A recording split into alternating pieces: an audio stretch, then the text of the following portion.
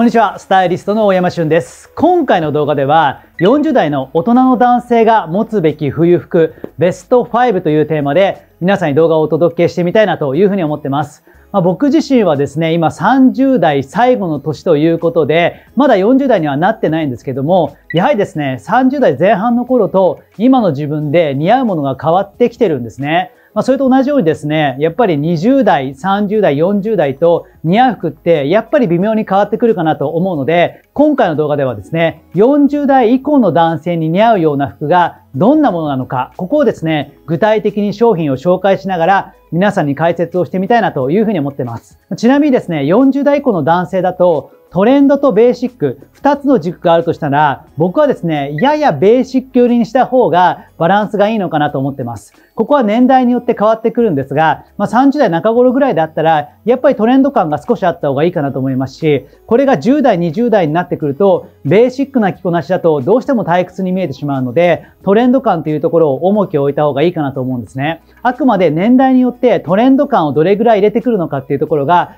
変わってくるということ。ここは頭の片隅に置きながら見ていただくとすごくわかりやすいかなと思ってます。ま40代以降の男性であれば、トレンド感もやや取り入れながらも、基本はベーシックな方がですね、似合いやすいかなと思うので、今回の動画では40代の男性にも似合いやすいものをですね、セレクトしてありますので、ぜひ最後までお楽しみいただければなと思っています。こちらのチャンネルでは大人の男性に向けて、メンズファッションの基本ですね、なるべくわかりやすく解説をしています。もう少し中級者以降のですね、アイテムですとか、コーディネートに関しましては、僕がもう一つ運営してます、YouTube のメンバーシップチャンネルの方で解説をしていますので、気になる方はですね、こちらの動画の下の概要欄にリンクを貼っておきますので、そちらからチェックをしていただければなと思ってます。それでは早速行ってみましょう。はい、ということで、ここからですね、具体的にアイテムを皆さんにですね、ご紹介したいなと思ってるんですが、一つ目はですね、今僕が着てるこちらのチェスターコートですね。これはですね、40代以降の大人の男性には欠かせないアイテムかなと思ってます。まあ、冬場にはですね、アウターが必須になるかなと思うんですが、1着ぐらいをですね、小綺麗に見えるアウターを持っておくと、すごく便利かなと思うんですね。まあ、特にですね、先ほども触れた通り、40代以降の男性であれば、どちらかというと、ベーシックで定番的なアイテムの方が似合いやすいですし、カジュアルなものよりも、やや綺麗めの方がですね、バランスがよく収まるんですね。その点、定番的なチェスターコットというのはですね、一着あると間違いがないのかなというふうに思っています。ただ、チェスターコートも最近はバリエーションがたくさんありまして、今僕が着てるのはですね、割と定番的なフィット感のですね、チェスターコートなんですね。今季のグリーンレーベルのものなんですが、色はですね、ネイビーで、細かく見るとですね、チェック柄が施されてるんですね。これがですね、すごく上品に見えて、個人的には今季40代以降の男性に着ていただくのであれば、まあナンバーワンのチェスターコートなのかなと思ってます。もちろんですね、様々なブランドでチェスターコートをやってるんですが、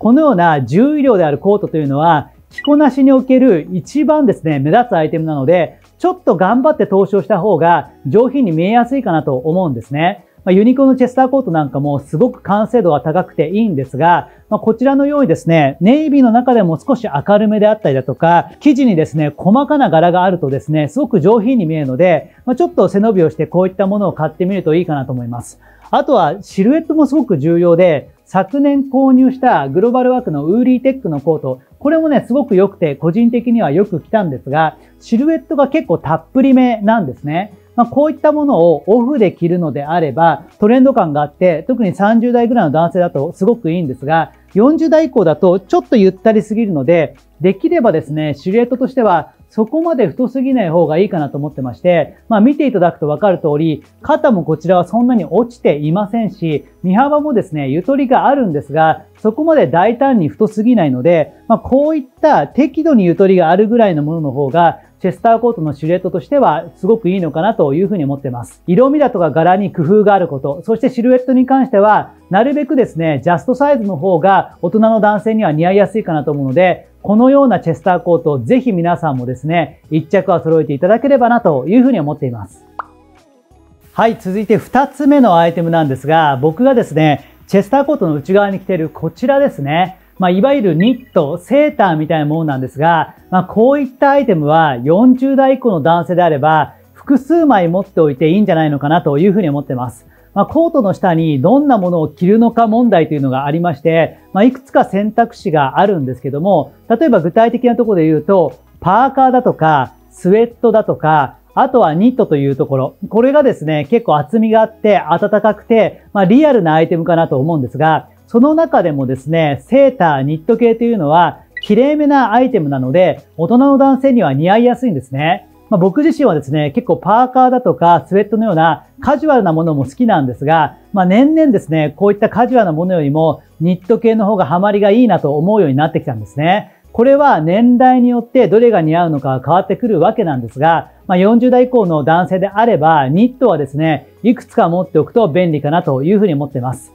今僕が着てるのは今季のユニクロのローゲージニットで、まあ、ダークグリーンの色合いがすごく綺麗なので、僕は差し色的に使っているんですけども、こういった綺麗な色もいいかなと思いますし、あとはですね、まあ、今季のユニクロ U のですね、モックネックセーター、これも良かったんですよね。まあ、襟元が丸首だと定番的なんですが、ちょっとこうハイネック気味になっているものだとトレンド感もあって、なおかつ暖かいので、まあ、こういったものもすごくいいんじゃないのかなというふうに思ってます。あとは色合いに関してはもうちょっと明るい色ですね。ホワイトだとか、ライトグレーだとか、オフホワイトみたいなもので、着こなし全体をパッと明るくしていただくのもいいかなと思うので、まあ、3パターンぐらい持っておくと、着こなしとしてはですね、かなりバリエーションが出せるのかなというふうに思ってます。まあ、このあたりのニットの色でだいぶ雰囲気が変わるので、ぜひ皆さんもですね、こういったニットのバリエーションを広げながら、着こなしをですね、楽しんでいただければなというふうに思ってます。ちなみにニット自体の厚みとしては、基本的にはですね、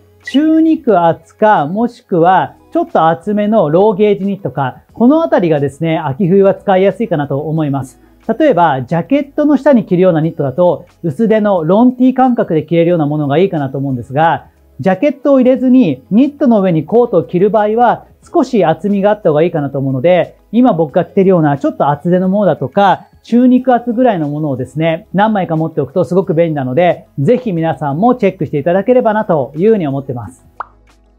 はい、続いて3点目はですね、今僕が履いているようなテーパード型のボトムスですね。これは40代以降の大人世代にはですね、マストで持っておきたいようなものかなというふうに思ってます。ま、ボトムスにも色々なシルエットがあるんですが、まあ、最近はですね、ゆったりめのものも増えていまして、個人的にはそういったものを履くことが多いんですが、40代以降の大人の男性であれば、あまりゆったりめに振らない方がいいかなと思ってまして、足にですね、適度にフィットしたようなテーパード型が、やっぱりスタイルがよく見えるので、ぜひ皆さんにもですね、トライをしていただきたいボトムスかなと思ってます。今僕が履いてるのはグリーンレーベルのですね、今季のボトムスなんですけども、色はチャコールグレーですね。意外とこの色合いが使い勝手がいいかなと思ってまして、まあ、色が濃いので引き締まって見えますし、意外とブラックだとかネイビーだとか、そういった色との相性も良かったりするので、一本持っておくと便利なのが、こういった深めのグレーかなと思ってます。まあ、もうちょっと明るいミディアムグレーなんかでもいいかなと思うんですが、個人的にはですね、濃いグレーで、よく見るとこれはヘリンボーンの柄が入ってるんですが、この雰囲気が秋冬っぽくてすごくいいかなというふうに思ってます。フィット感としては、もも周りはそこまでビタビタには細くはないんですが、膝から下にかけてまた細くなっていくようなですね、綺麗なシルエットになってまして、こういったパンツがなんだかんだで最強なのかなというふうに思ってます。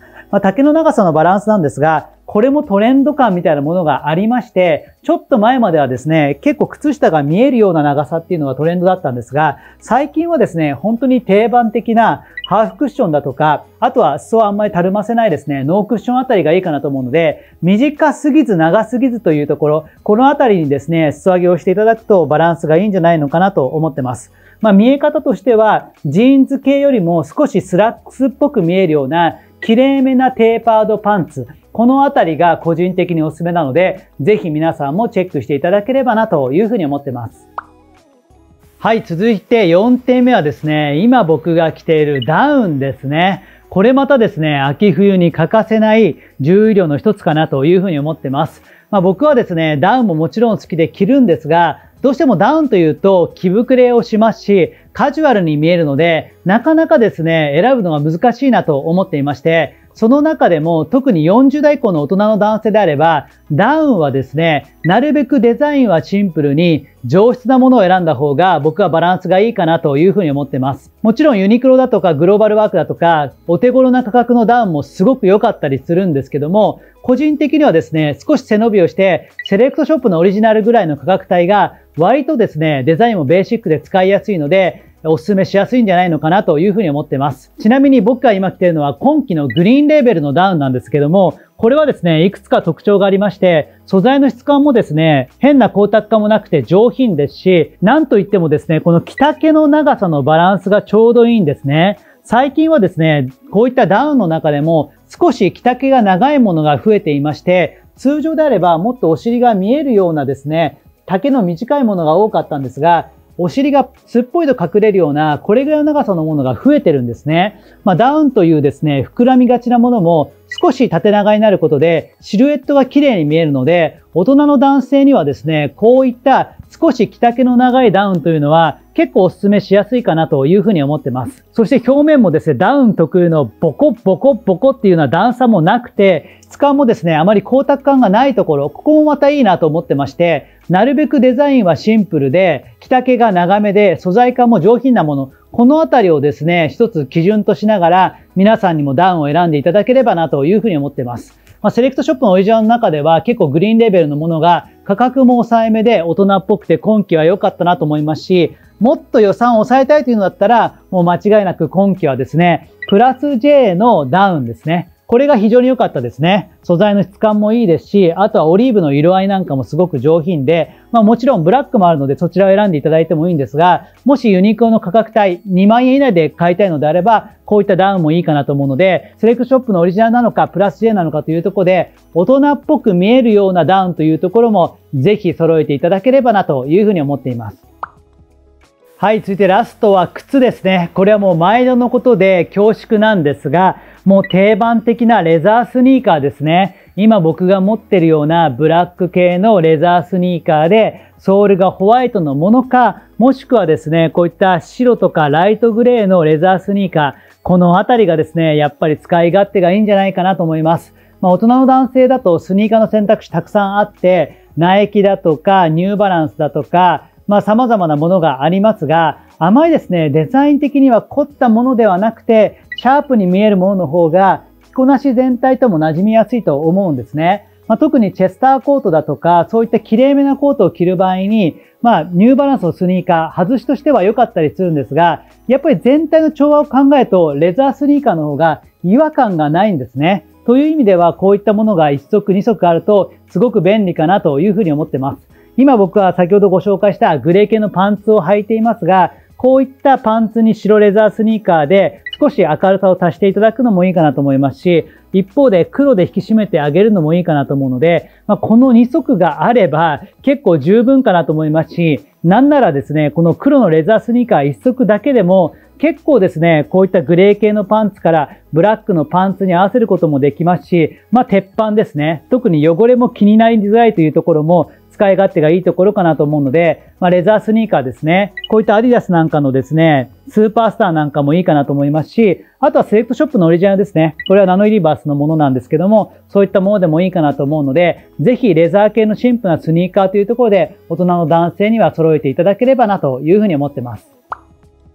はい、いかがでしたでしょうか？今回の動画では40代の大人の男性に似合う冬服ベスト5ということで皆さんにですね、具体的なアイテムをご提案させていただきました。まあ冒頭にもお話しさせていただいたんですが、40代以降の男性であればトレンドとベーシックがあったとしたら、ややですね、ベーシック寄りに着こなしをまとめた方がバランスがいいかなと思ってるんですね。ただですね、ベーシックというのも年々変化をしていまして、同じベーシックなアイテムであっても5年ぐらい経つとですね、だいぶ雰囲気が変わるんですね。まあ、先ほどご紹介したようなチェスターコート、これはもちろん5年前にもあったんですが、やっぱりシルエットに変化があったりだとか、生地の質感だとか、あとはデザイン本体にもですね、ちょっとした違いが出てくるので、まあ、ベーシックなものであっても、ある程度ですね、最低でも5年おきぐらいにクローゼットの中は循環させた方が、よりですね、今の自分と今の時代にフィットした服がですね、選びやすいのかなというふうに思ってます。ぜひですね、今回ご紹介したアイテムに関しては、まあ、そのものがあればですね、URL を貼っておきますし、まあ、もしない場合はですね、似たようなものをですね、概要欄にリンクを貼っておきますので、ぜひそちらももチェックしていただければなというふうに思ってます。これからもこちらのチャンネルでは大人の男性に向けてメンズファッションの今日をですね、なるべくわかりやすく解説したいなと思っていますので、よかったらチャンネル登録の方もよろしくお願いします。以上、スタイリストの大山俊でした。また次回の動画もお楽しみに。おしゃれ初心者から中級者へステップアップしませんか？限定動画では中級者向けのアイテムコーディネートからライフスタイルまで発信。皆さんからのご質問のほか無料動画では語れないスタイリストの本音もお伝えします。大山旬のメンバーシップチャンネル。